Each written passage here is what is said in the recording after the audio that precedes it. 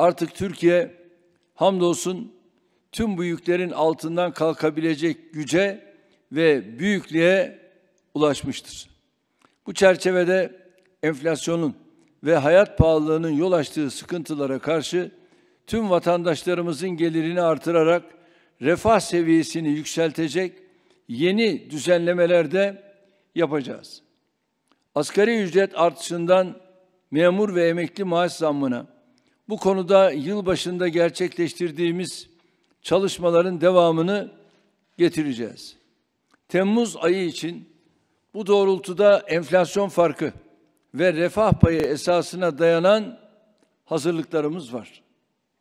Bilhassa memurlarımız müşteri olsunlar. Onların haklarını teslim etmek ayrıca bizim boynumuzun borcudur. Milletimiz şundan emin olsun. Kimseyi enflasyona ezdirmeyeceğiz. Ve şu ana kadar da ezdirmedik. Kimseyi gördüğünden geri koymayacağız.